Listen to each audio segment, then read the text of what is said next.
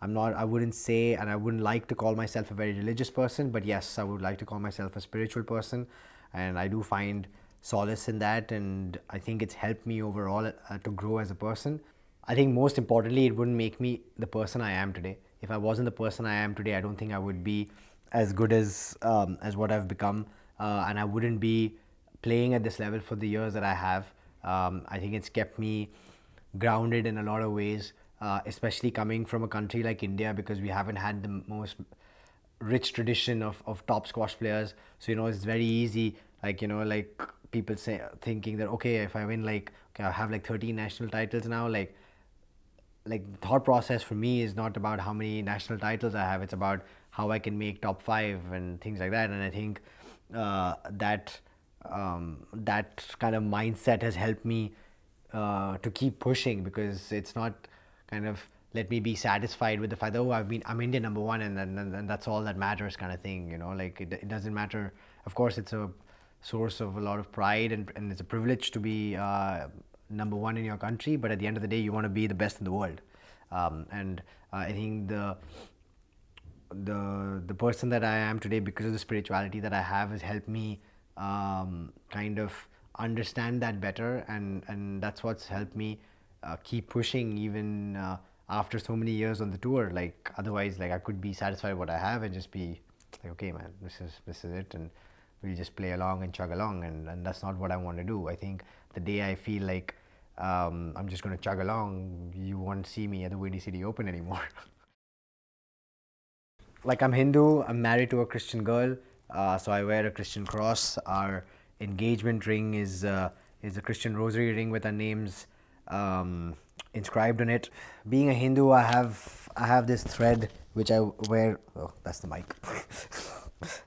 I have this thread which I wear um, every day, 365 days of the year, 24 hours of the day, uh, and I use this to pray uh, when I wake up in the morning and when I uh, go to sleep at night. Um, so my family is from a priestly class, so um, all the men in the priestly class family basically get this thread at some point uh, in their um, in their childhood, and you're supposed to uh, like pray with it twice a day.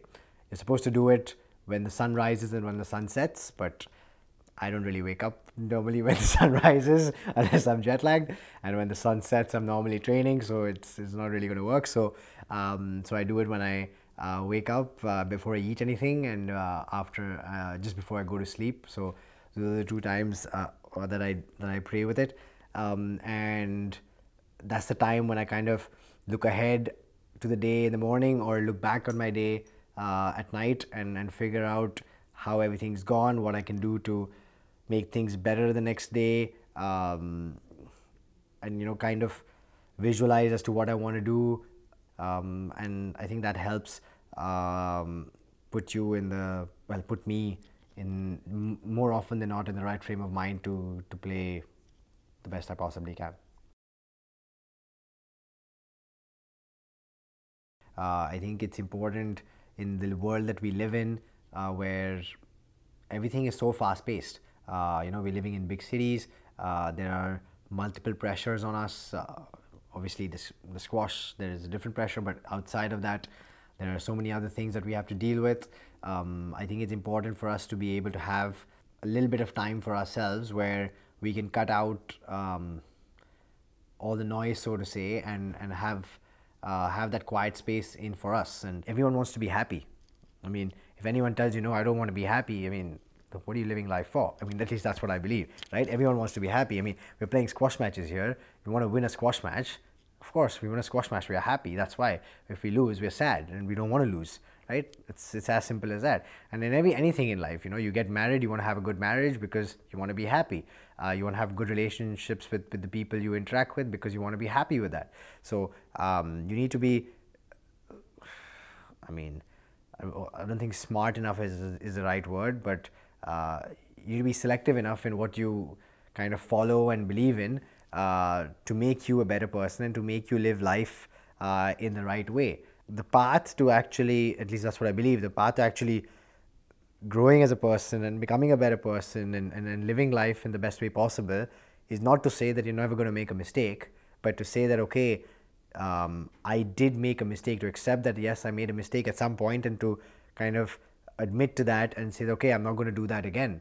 And I think that's the that's the basic uh, basic thing of um, of you know being spiritual or finding solace. And I think that's why it's important to find that find that quiet in your in your life. Because if you don't have that quiet then you don't have the time to think about what you're doing is is right or wrong.